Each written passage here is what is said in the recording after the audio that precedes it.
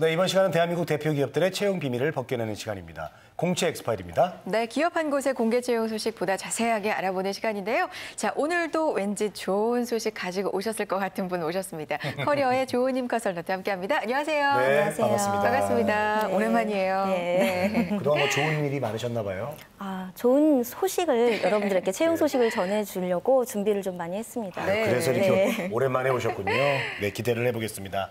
자, 오늘 살펴볼 기업 쏙쏙 키워드로 만나보시죠.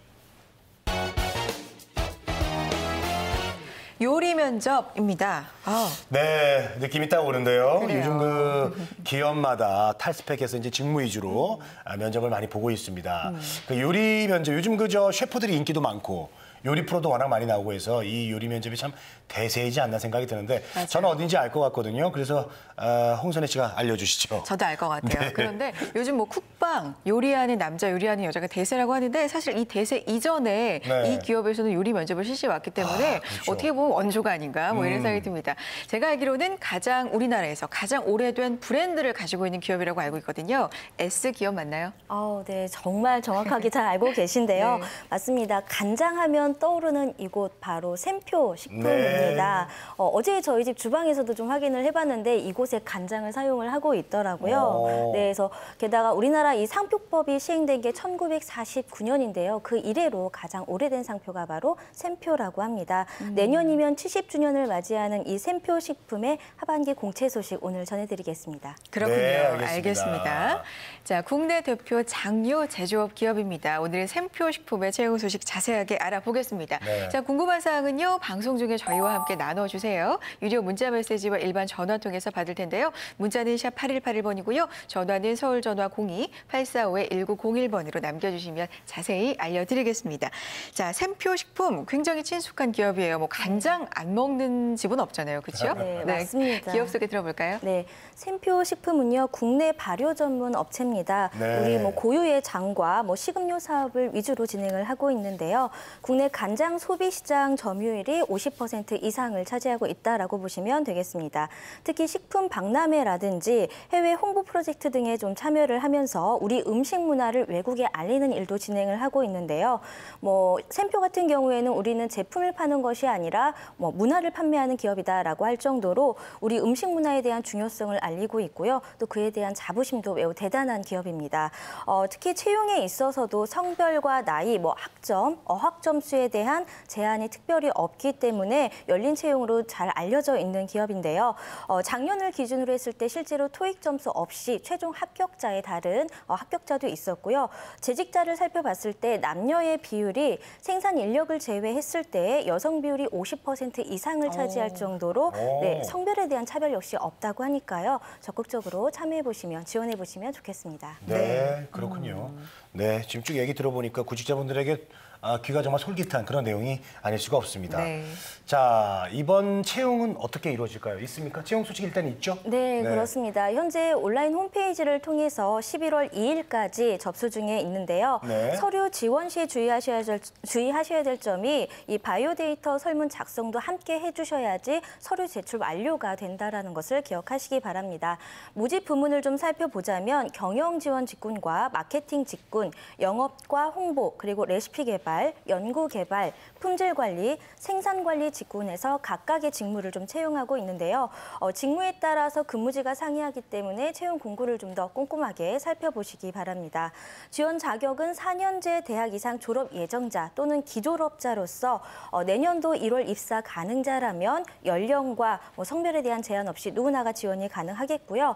단 마케팅 직군에 있어서 이 해외 마케팅 지원자의 경우라면 어학 능력이 무엇보다도 중요하기 때문에 이 영어 성적을 제출 하셔야지 되겠습니다. 하지만 이 경우에도 점수에 대한 제한은 없기 때문에 부담 없이 적극적으로 지원하시면 되겠습니다. 네, 알겠습니다. 어, 이미 서류 접수가 시작이 됐고요. 11월 2일까지니까 지원을 지금 하셔야 될 것 같은데 네. 서류 제출이 끝이 아니라요. 그 후에 이 바이오 데이터 설문 작성이 끝나야 그게 바로 제출 완료기 때문에 이 부분 꼭 기억을 해 두시기 바랍니다. 자, 샘표 식품 저희가 키워드에서 요리 면접이라고 봤거든요. 그러니까 그만큼 샘표 식품 채용을 대표 표하는 어떤 절차가 아닐까 생각이 듭니다. 이번에도 요리 면접 진행이 되나요? 네, 2000년도부터 진행이 되어져 온 아주 어떻게 보면 좀 더 국방 이전의 그렇죠. 대세를 이끌었던 면접이라고 보시면 되겠는데요. 이번에도 어김없이 진행이 되겠습니다. 네. 프로세스를 좀 살펴보자면 서류 전형과 인적성 그리고 하루 동안에 진행되는 팀장과 임원 요리 면접이 있고요. 이어서 신체 검사와 최종 합격 순으로 진행이 됩니다. 어, 단연 눈길을 끄는 것이 요리 면접일 수밖에 없는데요. 어, 같은 모집에 지원한 지원자들끼리 한 네다섯 명이 한 팀으로 이루어서 당일에 주어지는 재료를 가지고 요리를 하게 됩니다. 그리고 이 요리를 가지고 이 요리에 대해서 PT를 하는 방식으로 진행이 되는데요. 뭐 요리 실력이나 맛에 대한 이런 결과 평가보다도 요리를 하는 그 과정에 있어서 컨셉부터 그 과정에서 얼마나 팀워크를 잘 이루는지 그리고 이 최종 결과물을 가지고 어떻게 잘 프레젠테이션 하는지에 대한 이 과정들을 관찰하면서 평가를 하는데 이때 평가 요소는 지원자의 리더십과 팀워크 그리고 창의력을 중점적으로 보게 되겠습니다. 네. 그렇군요. 네. 그 영화 갑자기 그 식객이 생각이 나네요. 식객에서도 평가할 때 맛도 중요하지만 그 어떤 재료를 써오는 과정들, 그 중간 과정들을 많이 또 그 평가를 했었거든요. 아, 그 영화 참 재밌었는데. 자, 그래서 이제 결과보다는 어떤 그 과정을 중요시하는 면접이다. 이렇게 말씀을 해 주셨습니다. 네.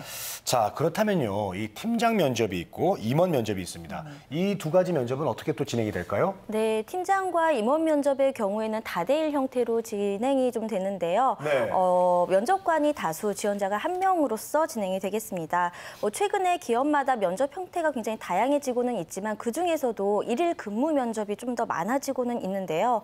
방법은 조금 다르지만 샘표 역시 하루라는 이 장시간 동안에 뭐 평상시에 좀 더 단시간 동안 판단하기 힘든 지원자의 모습을 체크한다라고 보시면 되겠습니다.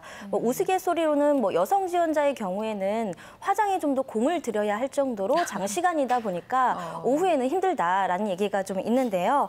어, 그만큼 체력 유지가 좀 더 관건이 되겠고요. 사실 기업에서 신입사원한테 좀 더 바라는 것은 뭐 성과라는 것보다도 분위기 쇄신일 겁니다. 그렇기 때문에 지쳐 있는 모습보다도 에너지 넘치는 모습으로서 장시간 동안에 자기 자신을 좀 더 적극적으로 어필해 주시면 도움이 되겠습니다. 네, 굉장히 오래가는 메이크업까지 신경을 써야 될 만큼 정말 그만큼 장시간 동안 이루어지는 면접입니다. 네. 그만큼 우리 지원자들을 면밀하게 파악하기 위해서 준비된 질문들이 또 있을 것 같거든요. 기출 문제 한번 짚어주실까요? 네, 기출 문제를 좀 더 통해서 살펴 보자면 어, 먼저 지원한 직무에 대해서 어떻게 생각하고 있는지에 대한 질문이 있었고요. 오. 그리고 커뮤니케이션을 할 때 어려운 사람을 만나면 어떻게 헤쳐나갈 것인지, 그리고 대학 생활에서 가장 기억에 남는 활동은 무엇이고 그 안에서 무엇을 배웠는지 등이 있었습니다. 특히 임원 면접에 있어서는 이 지원자의 가치관을 좀 더 확인하는 질문으로서 좌우명이 무엇인지를 물어보고 있었는데요. 이처럼 인성 면접이 좀 더 줄을 이루겠고요. 또 샘표의 경우에는 70년이라는 긴 역사 동안에 뭐 구조 조정이라든지 노사 분규가 단 한 번도 없었다라고 할 정도로 네. 임직원을 먼저 생각하는 그런 수평적인 사내 문화를 좀 더 형성하고 있습니다.